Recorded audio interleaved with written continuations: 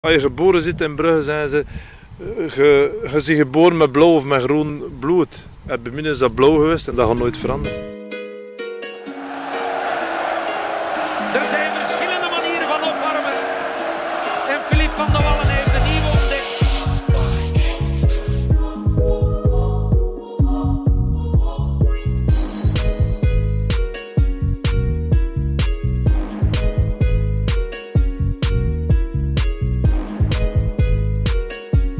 Zelfs een niet-voetbalfan kent deze man. Jean-Marie Pfaff, ooit de beste keeper van de wereld. Hij was mijn eerste voetbalidool aan wie ik een handtekening vroeg. Het was Jean-Marie die ervoor zorgde dat ik zelf keeper werd, op een lager niveau weliswaar. Maar nog meer was ik gefascineerd door een andere doelman, Philippe van de Wallen. Een keeper die met wereldcijfers onder meer Club Brugge door de competitie en Europa loodste. Maar ook een doelman die door concentratieverlies ervoor zorgde dat Blauw-Zwart soms kostbare punten verloor en Europa moest verlaten. Dat wisselvallige, soms de held zijn, soms de pineut, dat trok mij enorm aan. Want een doelman is ook maar een mens. De 18-jarige Philippe van de Wallen komt in 1980 van Sporting Charleroi over naar Club Brugge. Daar moet hij opboksen tegen Birger Jensen. Die heeft in Brugge een heldenstatus na zijn geweldige partij in 76 tegen Liverpool. In de finale van de beker der landskampioenen, de huidige Champions League. Tot 1985 blijft Van de Wallen in de schaduw van Jensen. Pas in het seizoen 85-86 worden de rollen omgedraaid. Van de Wallen mag van trainer Henk Houwaard zijn kans grijpen in het elftal van onder meer Jean-Pierre Papin en Jan Keulemans. Club speelt dat seizoen de bekerfinale tegen stadsgenoot Cercle Brugge. Van de Wallen houdt zijn netten schoon. Kurtevik op Van der Wallen. De eerste keer dat Van der Wallen echt uh, de Van der Wallen van de voorbije weken moet zijn. Twee strafschoppen van Papin en een goal van Keulemans bezorgen Club de beker. Zit er een dubbel in? Misschien. Net voor de Mondial van Mexico zijn er nog twee testmatchen voor de titel in België. Brugge en zijn aardse rivaal Anderlecht moeten het uitvechten. Bijna letterlijk, want het worden twee bitsige matchen. Voor Philippe van de Wallen is het een beetje een match in de match. Zijn opponent aan de overkant bij Paarswit is immers Jacques Munaron. Hij is als tweede doelman opgeroepen voor de Rode Duivels.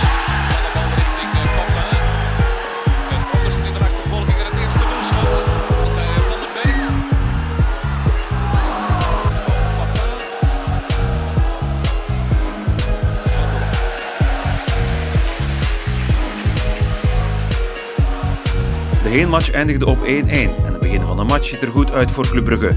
Papin met de 1-0.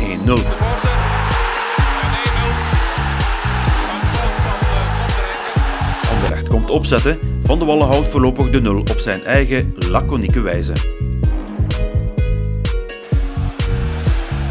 Goed schot. Nog even Gudjonsson. En lang uitvallend. Philip van der Wal. En dan een tegenaanval van Club. Eerste offensieve actie van Van der Elst. Keulemans vrij gespeeld. Nog maar niet op flank in het centrum. Wellens bij de tweede paal. Papin, daar is Wellens. En 2-0. Middelmatig tot zwak seizoen tot dan toe. Met de 2-0 van Welles lijkt de match gespeeld. Zeker wanneer Van de Wallen groeit in de match. Goed schot. Gelost door eh, Van der Wallen. Maar in de tweede helft keert het tij. Ogen toe voor de clubfans.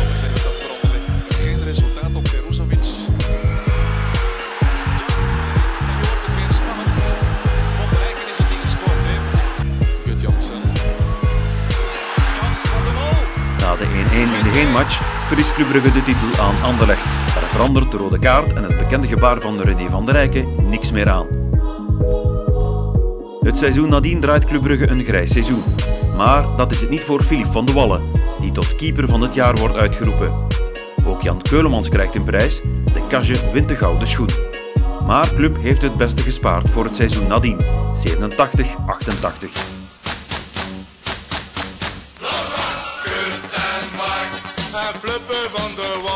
Club wordt niet enkel kampioen in dat seizoen, de Europese campagne is heroïs te noemen.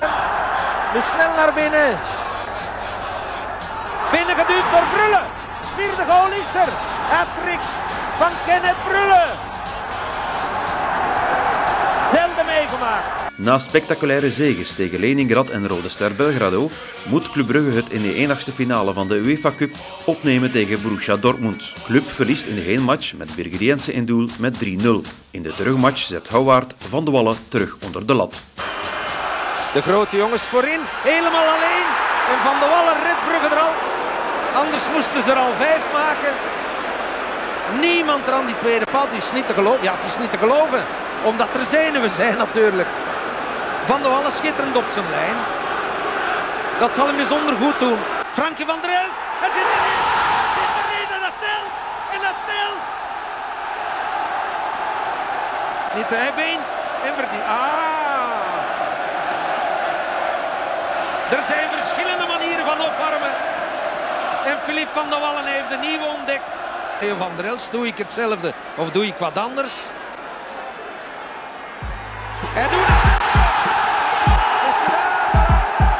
Leningrad en Rode Ster Belgrado miraculeus uitgeschakeld te hebben, moeten ook de Borussen eraan geloven. Club Brugge stoomt door naar de kwart- en halve finale. In die halve finale wint Blauw-Zwart thuis van Espanyol Barcelona met 2-0. Vergetelijk. In Catalonië houdt Club Brugge met 10 lang stand in de verlengingen. Tot in de 119e minuut dit gebeurt.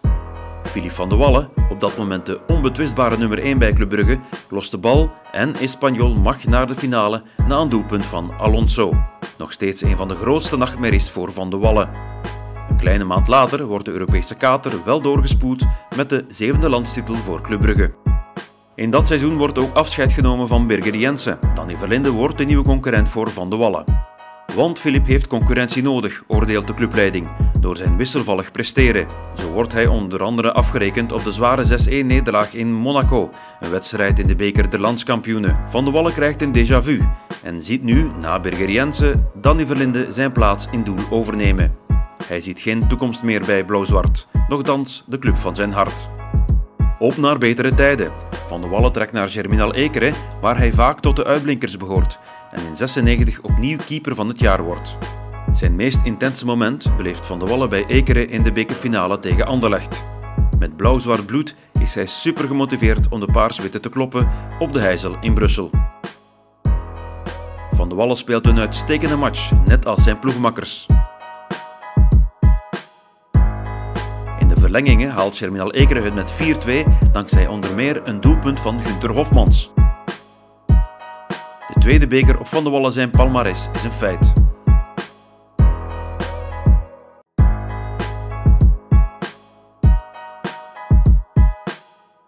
Zijn prestaties worden ook door de bondscoaches gevolgd. Acht interland speelt Filip van de Wallen. Intussen wisselt hij nog van enkele clubs. Van Lierse gaat het naar Eendracht Alst om in 99 langs de Grote Poort terug te keren bij Club Brugge. Maar helaas is die rentree van korte duur. In de spectaculaire 5-5-wedstrijd van de Rode Duivels tegen Nederland blesseert hij zich bij deze tegengoal. Fijne carrière voor Filip van de Wallen, die nu vooral furoren maakt als analist voor de Walse televisie.